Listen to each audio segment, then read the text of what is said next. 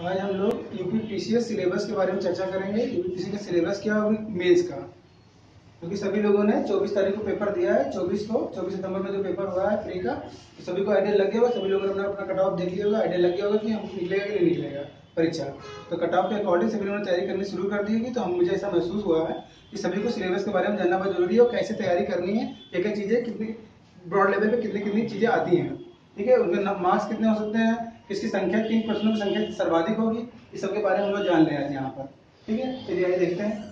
तो UP PCS पाठ्यक्रम, ये है आपका 2017 का हम लोग देख लेते हैं। सिलेबस में जो परिवर्तन होने की बातें हो रही है, वो 2018 की प्रक्रिया के अंतर्गत आएगा। अभी जो 2017 का जो सिलेबस है, वो यही रहेगा आपका, जो आपको समय लिखा है। इसे आप लोग नोट भी कर सकते हैं। नोट कर लीजिए और इसी के अकॉर्डिंग तैयारी करना स्टार्ट कर दीजिए आप लोग। तो चलिए बात कर लेते हैं सिलेबस की। देखिए जीएस का जो पहला पेपर होगा आपका, जो पहला पेपर होगा, ये देखिए, ये देख लीजिए शेड्यूल जो होता है, हमारा चार दिन का शेड्यूल होता है। पूरा टोटल चार दिन का शेड्यूल होगा, जो आयोग का शेड्यूल होगा, परीक्षा का, वो चार दिन का होगा। तो पहला प्रश्न पत्र होता है, वो हमारा क्या होता है? जीएस का होता है। दूसरा, बिना किसी गैप के मतलब एक भी दिन की गैप नहीं मिलेगी दूसरे दिन जस्ट आपका जो पेपर होगा, वो हिंदी का पेपर होगा। दो लगातार पेपर होंगे। इसलिए आपको पहले से प्रिपेयर रहेगा, हिंदी के लिए भी पहले से ही प्रिपेयर रहना पड़ेगा। पहले जीएस उसके बाद उसके बाद हिंदी का। उसके बाद हो सकता है आपको गैप मिल जाए, उसमें एक दिन की, दो दिन की गैप मिल सकती है, तीन दिन की भी गैप मिल सकती है विषय को लेकर जो ऑप्शन आपके सब्जेक्ट लिए रहेंगे आप लोग। जैसे कि लोक प्रशासन, भूगोल अच्छा अध्ययन, सामाजिक कार्य और इतिहास, इनमें से कोई भी, इसके अलावा और भी विषय हैं, इसके बारे में हम लोग बात कर लेंगे अभी, ठीक है? अभी पहले हम लोग सिलेबस यहाँ शुरुआत से देख लें। तो चलिए ये देखते हैं तो जीएस का पहला पेपर जो होगा आपका फ़र्स्ट डे जब भी पेपर होना है आपका, मैंने बताया कि जनवरी या फरवरी में इसका पेपर हो सकता है मेन्स का। तो जब भी पेपर होगा तो जीएस के पेपर जो होंगे, दो पेपर होंगे यहाँ पर। तो जीएस के दो पेपर है फ़र्स्ट पेपर और सेकंड पेपर दो पेपर है, दोनों ही कैसे हैं ऑब्जेक्टिव टाइप के हैं ठीक करना है आपको। जैसे कि आपका प्री में जैसे देके आ रहे हो, वैसे यहाँ पर भी लिखित परीक्षा नहीं है ये। मतलब सब्जेक्टिव नहीं हो ऑब्जेक्टिव है। तो ठीक करना है आपको यहाँ पर। तो फ़र्स्ट पेपर है सेकंड पेपर इसमें एक ही पेपर नहीं होता, दो पेपर होते हैं फ़र्स्ट पेपर और सेकंड पेपर फ़र्स्ट पेपर जो है आपका भारत का इतिहास।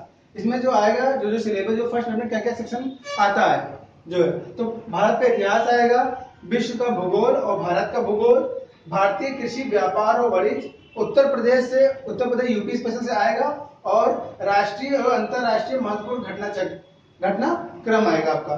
खेल कूद और सम्मान मतलब जो भी करंट अफेयर में आप लोग पढ़ते हैं, जो प्री क्लेज तैयारी की है, इसलिए यहाँ, उसी तरह से यहाँ पर भी आएगा। तो यहाँ पर हम देख रहे हैं किस पे ज़्यादा हम लोग को फोकस किस पे करना है। सिलेबस तो पता है सिलेबस तो आप लोग नेट से भी डाउनलोड कर सकते हैं। लेकिन हमको यहाँ पर मेरे आने का उद्देश्य यही है कि आपको पता सके किस पे ज़्यादा फोकस करना है आपको। जहाँ पर ज़्यादा आपको मार्क्स मिल सकेंगे। ठीक है? तो यहाँ पर देखिए फ़र्स्ट पेपर जो है, आपको सबसे ज़्यादा फोकस जो करना है, इतिहास पे करना हिस्ट्री पे।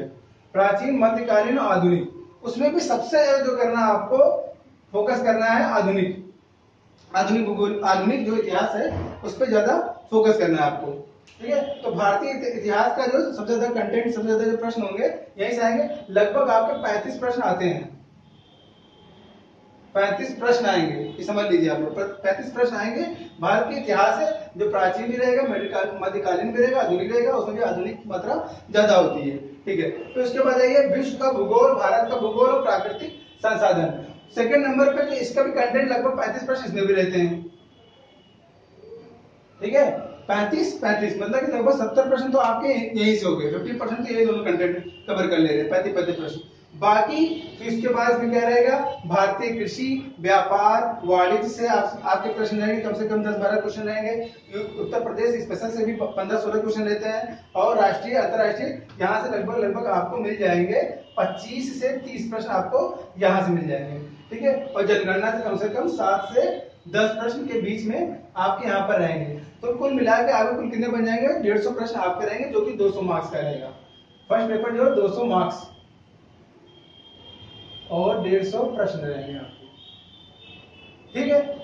समझ में आ गया? होगा आप लोगों को सबसे फोकस कहाँ करना है आपको? एक तो आपको घटना, अंतरराष्ट्रीय घटनाक्रम मतलब समसामयिकी पर करंट अफेयर्स पे। ज़्यादा ध्यान देना है। उसके बाद 35 प्रश्न आपके भारतीय इतिहास से आ रहे हैं। ठीक है भारत का इतिहास और विश्व का भूगोल भारत के भूगोल से पैंतीस प्रश्न आ रहे हैं, उसके बाद देखिए जनगणना है, ठीक है? तो सबसे ज़्यादा अभी आपको यहाँ पर क्या पता चला कि सबसे ज़्यादा हमको मेहनत कहाँ करनी है? सबसे ज़्यादा मेहनत आपको यहाँ इतिहास और भूगोल में सबसे ज़्यादा मेहनत करनी है आपको, इतना दिमाग रखना। क्योंकि सत्तर प्रश्न अकेले यही दोनों दे रखे हैं, ठीक है? अब आइए, ये तो हमारा फ़र्स्ट पेपर हो गया। फ़र्स्ट पेपर दे दिया और इसमें आप अधिकतम गेन करने का प्रयास करेंगे। 110 प्रश्न आप गेन करिए यहाँ पर, तभी आपको वहाँ पर फ़ायदा मिल पाएगा मेंस के लिए। ठीक है? फिर आइए सेकंड पेपर सेकंड पेपर जो होता है, आप यहाँ बहुत अधिक स्कोर कर सकते हैं। क्योंकि तो यहाँ पर उतना ज़्यादा स्कोर नहीं कर पाते, तभी मैंने आप लोग को बताया टारगेट दिया है 110 प्रश्न का 110 प्रश्न आप लोग टारगेट करिए यहाँ पर। ठीक है? 10 प्रश्न है। ठीक है? मार्क्स नहीं। उसके बाद आइए सेकंड पेपर जो है आपका है, इसमें भारतीय राज्य व्यवस्था मतलब कि पॉलिटी आपकी रहेगी, भारतीय अर्थव्यवस्था रहेगी मतलब इकोनॉमी रहेगी। उसके बाद सामान्य विज्ञान। सामान्य विज्ञान में देखिए क्या क्या है? भारतीय विकास में विज्ञान और प्रौद्योगिकी भूमिका और जो एप्लीकेशन होते हैं, विज्ञान की जो एप्लीकेशन है, वो सभी चीज़ें हमारे सामान्य विज्ञान के अंदर पूछ जाते हैं। बायो का सेक्शन रहेगा फिजिक्स रहेगी केमिस्ट्री रहेगी। केमिस्ट्री की मात्रा जो संख्या होती है, वो बहुत ही कम रहती है, सबसे ज़्यादा जो रहता है, प्रश्न बायो से रहता है, उसके बाद फिजिक्स से रहता है। उसके बाद अंगणित समान बौद्धिक योग्यता, सांख्यिकी विश्लेषण लेखा चित्र ग्राफ और आर्य डायग्राम ये रहेगा। अब यहाँ पर देखना है कि सबसे ज़्यादा मेहनत कहाँ करनी है और सबसे ज़्यादा स्कोरिंग भी होता है। ठीक है? सबसे ज़्यादा आप लोग स्कोर कर सकते हैं, अधिकतम प्रश्नों के उत्तर आप लोग आसानी से दे सकते हैं, लेकिन कहाँ कहाँ मेहनत करने की ज़रूरत है आप लोगों को? देखिए आप लोग, भारतीय राज्य व्यवस्था से आपको कम से कम तीस प्रश्न यहाँ से आएँगे। ठीक है? और सामान्य विज्ञान से लगभग तीस प्रश्न। तीस प्रश्न यहाँ से और तीस प्रश्न यहाँ से। फिर आइए, अंगणित। इसमें जो है साठ प्रश्न। अकेले। साठ प्रश्न से एक प्रश्न कम नहीं होगा और एक प्रश्न ज़्यादा नहीं होगा। इसमें आपकी अंगणित भी रहेगी रीजनिंग भी रहेगी, सांख्यिकी भी रहेगी, बारह वार्ता वगैरह हम पढ़ते हैं बहुलक वगैरह पढ़ते हैं माध वगैरह पढ़ते हैं एवरेज औसत पढ़ते हैं, ये सब चीज़ें हम लोग पढ़ते हैं लेखा चित्र पढ़ते हैं, पाई ग्राफ, पाई चार्ट वगैरह हम लोग पढ़ते हैं, ये सब चीज़ें हम इसमें साठ प्रश्न, आपके साठ प्रश्न से एक भी क्वेश्चन ज़्यादा नहीं होंगे, कम भी नहीं होंगे। अब आपको देखिए, आपको लग रहा होगा सबसे मेहनत कहाँ करनी सबसे ज़्यादा मेहनत इस पोर्शन पे करनी है फोर्थ सेक्शन पे। अंगणित पे सबसे ज़्यादा आप लोग को अंगणित, समान बौद्धिक होता है मतलब कि मैथ वाला पोर्शन जो है आपका पूरा पूरा होल सोल जो हम लोग कहे उस पर ज़्यादा मेहनत करनी है। उसके बाद आपको राज्य व्यवस्था मतलब पॉलिटी पे तीस प्रश्न, उसके बाद विज्ञान पे मेहनत करनी है। बाकी फिर सब सब चीज़ें मिले जुली भारतीय अर्थव्यवस्था कम से कम पंद्रह पंद्रह क्वेश्चन आ जाते हैं। पंद्रह क्वेश्चन लगभग इसमें आ जाते हैं, पंद्रह प्रश्न यहाँ से आते हैं और बाकी विभिन्न में आ जाते हैं। तो सबसे ज़्यादा प्रश्न आप लोग समझ में आ रहा है, कहाँ सबसे ज़्यादा मेहनत करनी है? तो सबसे ज़्यादा मेहनत कहाँ करनी है? इस पोर्शन में फोर्थ सेक्शन पे ज़्यादा मेहनत करनी है। तो इस तरह से आप यहाँ पे स्कोर जो करते हैं, लड़के अधिकतम स्कोर कर पाते हैं यहाँ से। अगर जिसका ये पोर्शन अच्छा है, वो लगभग लगभग 125 से 130 प्रश्न गेन कर लेता है, वो सही कर लेता है। इसके बीच में लाई करता है। ये अधिकतम नहीं मैं बता रहा हूँ, ये बिल्कुल रियलिटी है कि आप इतना कर सकते हैं। अगर आपने ये फोर्थ सेक्शन बहुत अच्छा कर लिया है प्रश्न तो आप लगभग यहाँ पर पचपन से छप्पन क्वेश्चन आप आसानी से बिल्कुल सही कर सकते हैं एक्यूरेसी के साथ। उसके बाद यहाँ पर देखिए विज्ञान, और यहाँ देखिए राज्य व्यवस्था ये बहुत इजी सेक्टर होता है, जहाँ से आप आसानी से कवर कर सकते हैं। ठीक है? तो इस तरह से आप लोग का क्या हो गया, यहाँ पर अधिकतम गेन कर लिया आपने। ठीक है? आपका मनोबल भी बढ़ जाएगा, अगर आपने पहला पेपर पहला पेपर यही होता है, ये जीएस का आपका मनोबल बढ़ जाएगा तो आप अच्छा स्कोर कर पाएँगे नेक्स्ट पेपर में, अगले दिन जब आपका हिंदी का पेपर होना है। हिंदी का पेपर देखिए आपका ये है। हिंदी में जो कि ये दो टू टाइम पेपर होते हैं ये भी टू टाइम होगा हमारा, ठीक है मॉर्निंग में होगा और आफ्टरनून के बाद फिर देखिए फ़र्स्ट पेपर सेकंड पेपर उसे यहाँ पर भी होगा, हिंदी का पेपर होगा और उसके बाद निबंध का पेपर होता है, ठीक है? तो देखें, हिंदी का जो पेपर है गद्य खंड का अवबोध एवं प्रश्नोत्तर। मतलब यहाँ पर आपको गद्यांश दे रखा होगा, उसमें से प्रश्न को आपको प्रश्न दे रखे होंगे उत्तर आपको छाटना है उसके अंदर से। ठीक है? उसमें ये कहानी का जो शीर्षक होगा, जो भी पैराग्राफ दे रखा है, उसका शीर्षक होगा, वो भी पूछ सकता है तो पूछता ही है वो। ठीक है? तो यहाँ से पूछेगा, फिर संक्षेपण आता है मतलब दो पैराग्राफ आएँगे आपको। एक यहाँ से पैराग्राफ आ जाता है, एक पैराग्राफ यहाँ से आता है। दोनों से प्रश्न रहेंगे, एक में संक्षेपण दे रखा होता है और एक में आपको दे रखा होगा। संक्षेपण का मतलब ये होता है कि कोई कहानी दे रखी तो छोटा करना है आपको। ठीक है? और यहाँ पर क्या करना है, उसमें तो पैराग्राफ जो दे रखा है, उसमें अंडरलाइन कर रखे होंगे, उसमें बता रखा है, इसका बताइए। इसको अपने अर्थों में डिस्क्राइब मतलब अपने हिसाब से उसको डिस्क्राइब करिए। ठीक है? और जो पहले से प्रश्न दे रखे होंगे उसको उसको डिस्क्राइब करना होगा, उसका उत्तर निकालिए आप पैराग्राफ के अंदर से। ये चीज़ दे रखा होगा। ठीक है? तो दो पैराग्राफ आपको इसके अंदर दे रखे होंगे। उसके बाद तीसरा जो है, सरकारी और सरकारी पत्र लेखन है, तार लेखन है, कार्यालय आदेश है, अधिसूचना परिपत्र। मतलब की सरकारी पत्र से संबंधित जितनी भी चीज़ें होती हैं, आप लोग आप लोग पढ़ेंगे, जो नए लड़के हैं, वो पढ़ेंगे, इसके बारे में भी हम लोग चर्चा करेंगे। बस ये कि आप लोग क्या करिए, इस चैनल को अधिकतम डिस्क्राइब मतलब सब्सक्राइब ज़रूर करिए इसको, ठीक है? अधिकतम सब्सक्राइब करिए और लाइक करिए, ठीक है? तभी मैं आप लोग के लिए अच्छी अच्छी चीज़ें ला पाऊँगा। तो मैं बता पाऊँगा कि इसमें क्या क्या चीज़ें होती है। इसके अंदर मैं सरकारी पत्र वगैरह सब चीज़ें आपको बिल्कुल विथ डिटेल आपको समझाऊँगा इसको। ठीक है? फिर देखिए उपसर्ग है, प्रत्यय प्रयोग है, विलोम आता है आपका, फिर वाक्यांश के लिए शब्द है, वर्तनीय वाक्य शुद्धि है, लोकोक्ति और मुहावरे हैं। ठीक है? ये चीज़ देखेंगे आप लोग। फिर उसके बाद आइए निबंध। निबंध में जो है आपका, देखेंगे इसके अंदर, निबंध में देखिए, तीन सेक्टर है आपका। फ़र्स्ट सेकेंड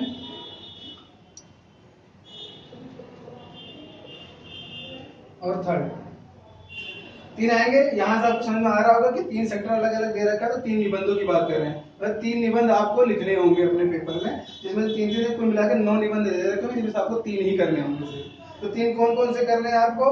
देखिए, तीन, एक एक सेक्शन जो है, साहित्य और संस्कृति से आएगा सामाजिक क्षेत्र से आता है राजनीतिक क्षेत्र से आता है आपका, जो आएगा। इसमें तीनों में से कोई एक आपको करना होगा। पहले से तैयार करके ये ट्रेडिशनल होते हैं। इसमें कोई बदलाव नहीं होता पहले से तैयार कर सकते हैं। ठीक है? उसके बाद देखिए, विज्ञान पर्यावरण प्रौद्योगिकी हमेशा एक एक पर्यावरण संबंधित एक ऐसे रहता ही रहता है। फिर आर्थिक क्षेत्र से संबंधित कोई योजना, परियोजना अगर लाई गई है, जो आर्थिक क्षेत्र से संबंधित है, वो आ सकता है आपका। इसमें कोई कृषि उद्योग ये हमेशा क्या होता है फिक्स रहता है, हमेशा आता ही आता है कृषि के ऊपर, एक निबंध रहता है, पहले से तैयार कर सकते हैं आप लोग। उसके बाद तीसरा सेक्टर जो राष्ट्रीय अंतर्राष्ट्रीय घटनाक्रम। मतलब इंटरनेशनल लेवल पर जो भी घटनाएँ हो रही हैं या कोई चीज़ हुई है, चुनाव हुआ, किसी संबंधित, जैसे अभी राष्ट्रपति का चुनाव हुआ, अमेरिका का तो उससे संबंधित कुछ चीज़ें आपके अभी तक कोई पेपर तो हुआ नहीं बीच में तो निबंध वहाँ से आ सकता है। ठीक है? वहाँ पे राष्ट्रपति की चुनाव प्रणाली है उससे संबंधित प्रश्न पूछा जा सकता है। तो यहाँ पर आप देख सकते हैं यहाँ पर जो भी अगर घटनाएँ घटी है अंतर्राष्ट्रीय स्तर पर रोहिंग्या मुसलमान की समस्याएँ जो आई हैं, उससे संबंधित कुछ शरणार्थियों की समस्याएँ जो है, उससे संबंधित अंतर्राष्ट्रीय मुद्दा है तो वहाँ से आ सकता है। तो इसी को आप तैयार करेंगे, इसके बारे में हम लोग बताएँगे हम चर्चा भी करेंगे इसके बारे में। फिर आइए देखिए, प्राकृतिक आपदा में देखिए, भूकंप, बाढ़, सूखा इत्यादि, ठीक है? तो इस तरह का ये भी निबंध हमेशा फिक्स रहता है, हमेशा आता ही आता है, एक आ जाएगा, चाहे वो भूस्खलन पे आ सकता है, भूकंप पे आ सकता है, बाढ़ पे आ सकता है, सूखा पे आ सकता है, किसी भी एक आ जाएगा। उसके बाद राष्ट्रीय विकास योजना मतलब कि भारत के अंदर जो भी योजनाएँ परियोजनाएँ आ रही हैं, ठीक है? सामाजिक स्तर पे है मतलब अल्पसंख्यकों के लिए, महिलाओं के लिए, बच्चों के लिए है, ठीक है? शिक्षा संबंधित कोई योजना है, आर्थिक से संबंधित कोई है तो वो सब चीज़ें आपकी इसके अंदर आ जाती हैं। ठीक है? तो एक आना है, ये समझ ले सकते हैं कि यहाँ पर दो सेक्टर जो है करंट अफेयर से संबंधित है। और करंट अफेयर से संबंधित अगर कोई आप ऐसे लिखते हैं तो वहाँ पर आप अधिकतम नंबर क्या कर सकते हैं गेन कर सकते हैं। तो प्रयास ये करेंगे हम लोग कि हम आपको अच्छा सा कंटेंट उपलब्ध करा सके, जो करंट जो अभी करंट का मुद्दा चल रहा है, उससे संबंधित कोई निबंध आपको उपलब्ध करा सके। है इसके लिए आपको सब्सक्राइब करना होगा चैनल को, ठीक है? तो इसके बाद आइए, ये तो आपका दो पेपर हो गए। ठीक है? उसके बाद जो है ऑप्शनल विषय ऑप्शनल जो रहेगा सब्जेक्ट जो रहेगा उसमें देखिए आपके पास लोक प्रशासन है भूगोल है रक्षा अध्ययन है सामाजिक कार्य और इतिहास है। ये विषय इसके अलावा और भी विषय होते हैं लेकिन वो आप नहीं लेंगे क्योंकि गेन जो अधिकतम मार्क्स हम लोग गेन करते हैं इन्हीं विषयों से गेन करते हैं। आप इसमें से कोई दो प्र, दो जो प्रश्न है जो प्रश्न पत्र है वो आप क्या करते हैं गेन कर सकते हैं और सबके दो दो पेपर होते हैं। जैसे लोक प्रशासन का भी हमारा क्या होगा दो पेपर होगा। फ़र्स्ट पेपर और सेकंड पेपर इस तरह से सभी का फ़र्स्ट पेपर सेकेंड पेपर होगा। भूगोल का भी फ़र्स्ट पेपर सेकंड पेपर अच्छा अध्ययन का भी फ़र्स्ट पेपर सेकंड पेपर सामाजिक कार्य का भी फ़र्स्ट पेपर सेकंड पेपर इस तरह से सभी का होता है। तो इसमें से कोई आप चूज़ कर सकते हैं। आप आप अपनी सहूलियत के हिसाब से रक्षा अध्ययन सामाजिक कार्य कर सकते हैं। या लोक प्रशासन भूगोल को रख सकते हैं, या लोक प्रशासन समाज अच्छा अध्ययन के साथ रख सकते हैं, या भूगोल को सामाजिक कार्य के साथ रख सकते हैं तो इस तरह से आप अलग अलग इसको रख सकते हैं। चलिए, ठीक है, ये तो हो गया सिलेबस की बात। अब हम लोग देख लेते हैं कि पेपर हमारा आता कैसे है। तो पेपर देखिए, जो आपका जो कॉपी आपको जो मिलेगी पेपर मिल जाएगा, उसमें सभी प्रश्न होंगे आपके। और जो आपको कॉपी मिलेगी लिखने के लिए, कुछ इस तरह से होगी। आप लोग देख सकते हैं, कुछ इस तरह से होगी, दो लाइनें इस तरह से खींची होंगी। ऐसे प्रश्न आपको पेपर के, जो पेपर जो मिलेगा प्रश्न पत्र उसके अलावा जो कॉपी मिलेगी उस पर ऑलरेडी जो होगा प्रश्न लिखा होगा यहाँ पर। जैसे मैंने यहाँ पर एक सैंपल बना रखा है आपको दिखाने के लिए। यहाँ पर प्रश्न क्या होगा? लिखा होगा। और इसमें जो होंगे, कुल प्रश्नों की जो संख्या होती है पाँच प्रश्न होते हैं। और सभी पाँच खंड होंगे, और हर खंड में तीन तीन प्रश्न होंगे। तो कुल मिला के आपको पंद्रह प्रश्न करने हैं। कुल मिला के चौबीस आते हैं, लेकिन पंद्रह प्रश्न करने होते हैं। ठीक है? तो खंड आ जाएगा आपका, यहाँ पर देख सकते हैं आप लोग, मैं बताता हूँ आप लोग को।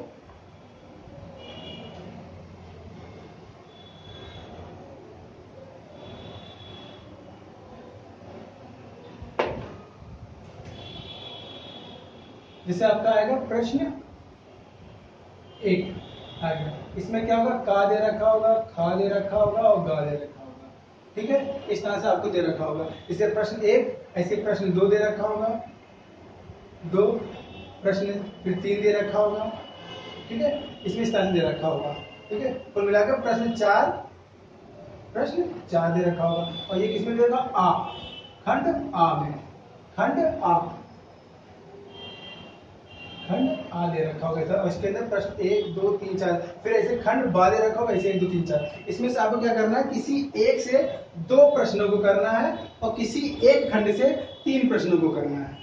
आप ये समझ रहे होंगे? मैं कह रहा हूँ, खंड आ दे रखा हो खंड बा दे रखा होगा। और हर एक में चार प्रश्न दे रखे होंगे और हर एक प्रश्न में ये एक, दो, तीन तीन प्रश्न होंगे। तो इस तरह से किसी एक से मिलाकर आपको पाँच प्रश्न करने हैं। अब चाहे आप खंड आ से दो कर लीजिए, चाहे खंड बा से दो कर ले, किसी एक से तीन आपको करने होंगे। तो तीन तीन दो पाँच तभी हो पाएँगे।